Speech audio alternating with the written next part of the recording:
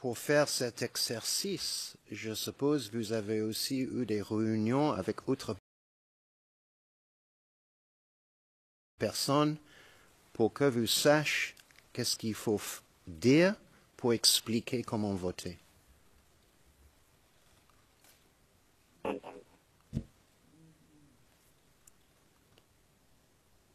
Je vais recommencer.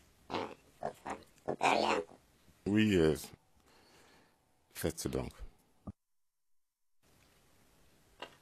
Les autres responsables de RDR ont sans doute eu les petites réunions avec vous pour que vous êtes bien entraînés de comment expliquer aux gens de voter, n'est-ce pas?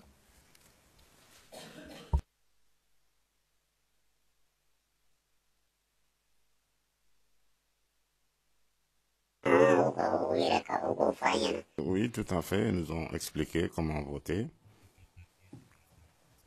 Et euh, ils nous ont montré euh, un document, ils nous expliqué euh, comment voter.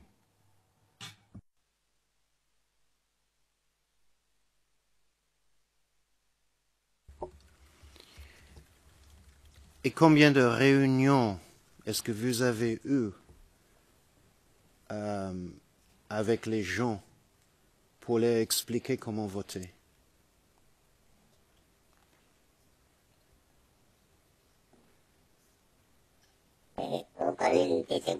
Je ne me souviens pas.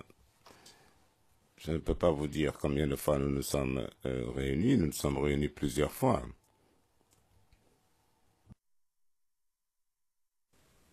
Si vous ne vous souvenez pas, c'est puisque c'est beaucoup de fois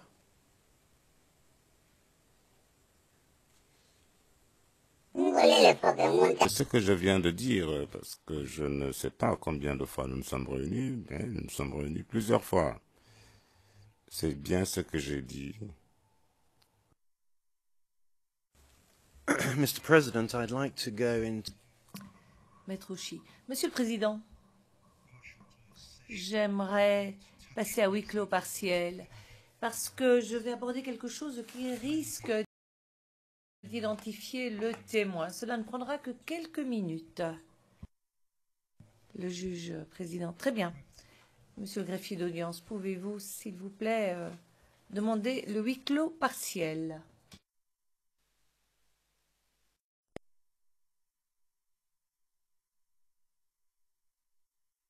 Refuser qu'ils prennent les urnes.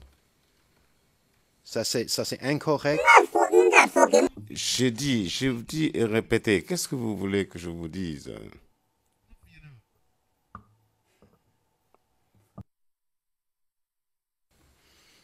Donc, je viens à la dernière partie de ce que je vous avais lu.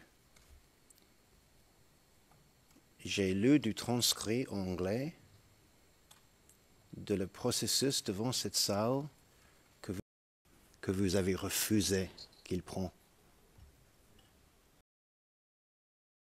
Pour quelle raison il ne pouvait pas?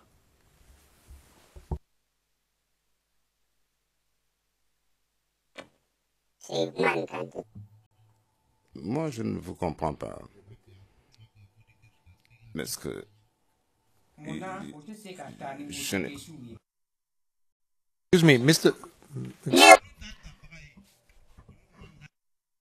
n'était pas habilité à le faire. Il y avait des personnes habilitées à récupérer ces urnes.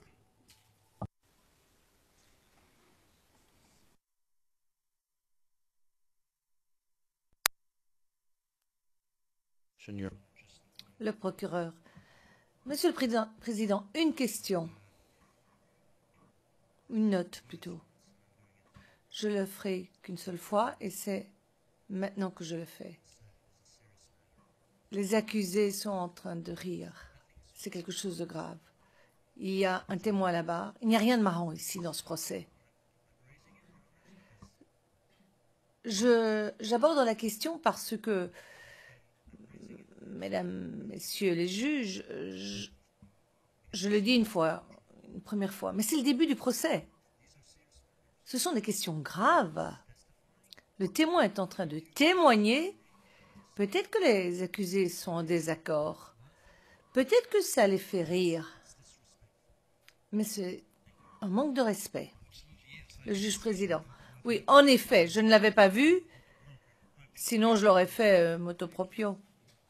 Et je m'adresse aux accusés. Vous pouvez penser ce que vous voulez, faire vos commentaires en interne, mais rien ne peut transparaître. Et vous ne pouvez pas afficher votre désaccord, et encore moins de manière euh, par manque de respect, euh, par rapport à toute la Chambre, à tous ceux qui sont ici, qui travaillent dans cette affaire, et par rapport aux témoins. Alors je ne le dis qu'une seule fois. Également, Maître Oshi, je vous serais très reconnaissant de tenir compte de l'heure qui passe. Je crois que j'ai été très lâche, je vous ai permis beaucoup de choses. Um, I just say for the record, Your Honour, Maître pour le procès verbal, je voudrais que l'on consigne, Monsieur le Président, que le témoin a le droit de réagir comme il veut euh, aux questions que je pose, mais je voudrais quand même rajouter, verser ça au procès verbal.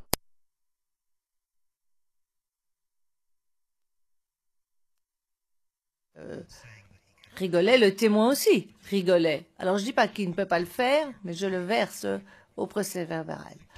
On n'est pas ici pour dire, interprète, le juge président. On on n'est pas ici pour dire qui peut ou ne peut pas. Les accusés doivent se tenir. euh, le témoin a des réactions, il est sous stress, il a des émotions. Et ça, on peut le comprendre.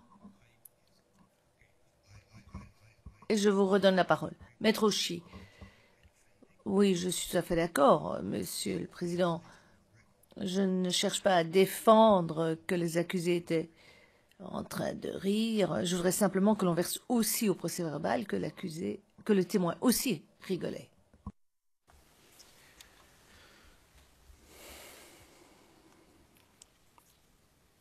so is it the case? Maître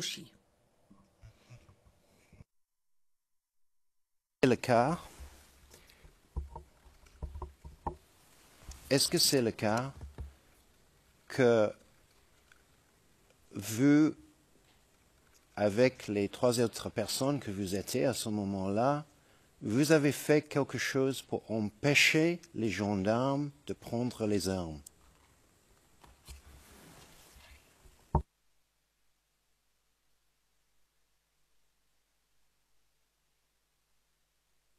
Je vous ai dit, mais vous ne semblez pas comprendre. Vous êtes en train de transformer mes propos. Il faudrait que vous teniez compte de mes réponses à vos questions. Non, je, je n'ai pas parlé de trois personnes avec qui j'étais. J'ai dit que nous avons fini de voter et nous sommes assis pour attendre les urnes pour euh, les surveiller. Mais je n'ai jamais dit que j'ai surveillé les urnes avec euh, trois personnes. Je ne suis pas un gamin. Euh, Je dis euh, que nous veillons sur les urnes et je n'ai jamais dit que nous étions trois personnes. Si- Si vous aviez écrit ça, il faut l'effacer.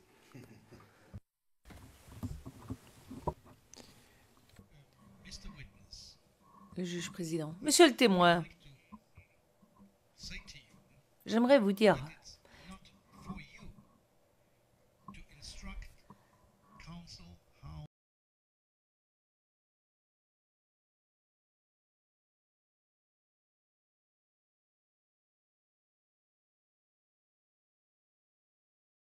il doit répondre ou poser la question. Alors, si la question telle qu'elle est posée n'est pas pertinente,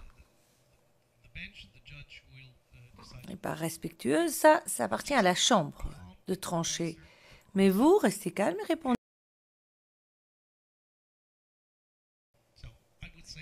Et maintenant, je vais déclarer qu'on va suspendre l'audience. Il est 13 heures. Et nous reprendrons à 14 heures. Et nous allons travailler pendant deux heures. Vous me regardez euh, assez perplexe, visiblement. posais juste la question de savoir si euh, votre chambre allait euh, décider du point que nous lui avions soumis, qui était de savoir si nous pouvions disposer de quelques heures par semaine. Par exemple, et si vous vous souvenez, c'était le plan B, nous vous avions demandé un jour par semaine, et puis ensuite, si cela n'était pas possible, disposer au moins de quelques heures par semaine, et il avait été question du vendredi après-midi pour préparer euh, les, témoignages de la semaine suivante avec notre client. Donc c'était une question qui était pendante, et je voulais savoir si votre chambre voulait la, la régler maintenant, ou bien au fur et à mesure, euh, lorsque la question se reposera. Well, Le juge président. Alors là, je dois vous dire que c'est une question en suspens euh, qui ne, ne, me revient pas en mémoire, j'avoue. Donc c'est quelque chose sur laquelle nous devrons revenir. Je ne peux pas trancher maintenant. Je proposerai de que deux, trois semaines d'audience et puis une semaine sans audience auraient peut-être pu euh, accommoder vos préoccupations. Mais nous allons vous revenir euh, avec une euh, position en la matière. Puis-je vous demander combien de temps vous pensez que vous avez besoin cet après-midi?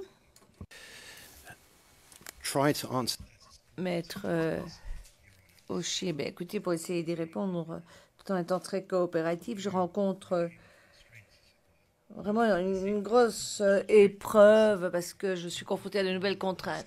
Le, juge président, ben, il n'y a pas tellement de contraintes. Maître Rouchy, non, non, c'est pas vous là, les contraintes, mais enfin bon, je dois tenir compte de la décision qui a été prise. Et, et en fait, du coup, je me retrouve dans une situation pour laquelle je n'ai pas encore d'expérience. Alors, comme vous voyez, Monsieur le Président, euh, Mesdames et Messieurs les juges, je, suis un fil conducteur et je euh, passe par les différentes étapes de la déposition du témoin. Je ne suis pas encore arrivé à la marche. J'ai encore besoin de deux à trois heures, très certainement.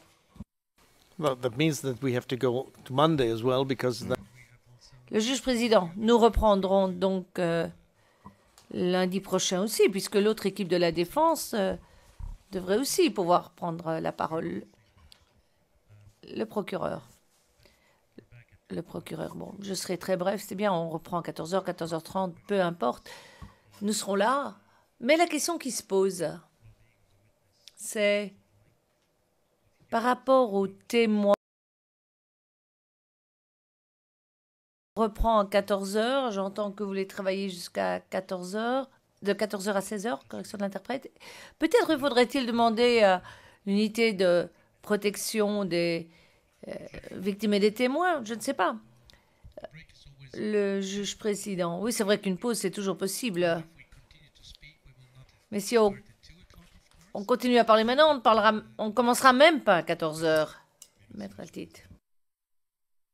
Du procureur, il est vrai qu'il est important de prendre en compte le bien-être euh, des témoins. Il est important aussi de prendre en compte le bien-être euh, des accusés et si vous vous souvenez, je ne vais pas m'étendre ici pour des raisons évidentes euh, sur ce point, mais si vous vous souvenez de ce que les experts avaient dit dans, notre, dans le cadre d'un débat récent, ils avaient considéré qu'une heure et demie à la suite était un maximum. Et donc je demande à votre chambre de prendre en considération ce point qui a été, euh, qui a été précisé par des gens particulièrement au fait de ce qu'il est possible de faire ou de ne pas faire, lorsque vous rendrez une décision tout à l'heure, non seulement sur la durée des, euh, tranches, si je puis dire, euh, des sessions, mais aussi sur le besoin de pouvoir, de pouvoir s'asseoir et préparer à un moment donné de la semaine les témoins de, de la semaine suivante. C'est important pour qu'il n'y ait pas un rythme trop effréné.